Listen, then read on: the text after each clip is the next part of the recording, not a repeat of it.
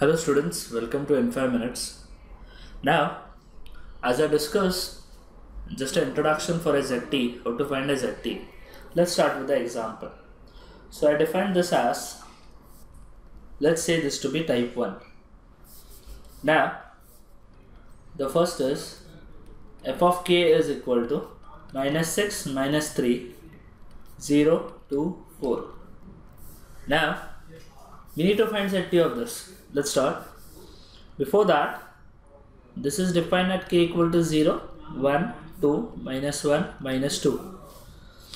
So, in solution, I'll be saying z of f of k that is equal to summation k equal to minus 2 to 2 z raised to minus k into f of k. Now you know it very well, whenever k will be negative, the power of z will be positive and the vice versa on the positive side.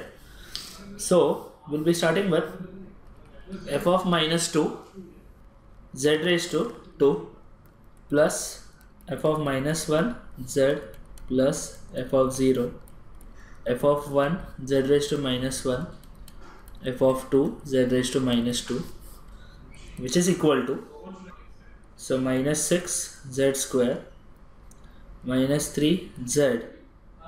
This is 0 so I directly write f of 1 that is 2 z raised to minus 1 plus 4 z raised to minus 2 so that is my z of f of k. In the similar way let's find the second sum that is. Now second sum tells you many things. In fact it defines a new term known as ROC, that is region of convergence. So my second sum is, so the second sum is f of k is equal to 4 raised to k, 3 raised to k. This is given for k less than 0 and this is given for k greater than equal to 0. Students understand one thing, since we are in discrete function, so we need to know this concept very well. Discrete values are nothing but integer values. So for example, I say that you want to do summation from minus infinity to infinity and there are two different functions for minus infinity to 0 and from 0 to infinity. There are two different functions. Now how to break that? See, I said minus infinity to 0 which is logically wrong. Why?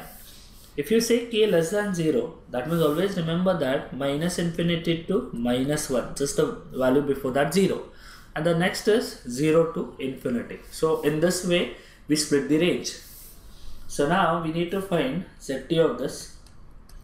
So z of f of k that is equal to summation k equal to minus infinity to infinity z raised to minus k into f of k so that comes as first k equal to minus infinity to minus 1 from minus infinity to minus 1 that is k less than 0 function is 4 raised to k.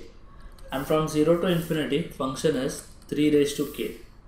So therefore I say here z raised to minus k and my f of k for this range is 4 raised to k plus summation k equal to 0 to infinity z raised to minus k and f of k for 0 to infinity is 3 raised to k.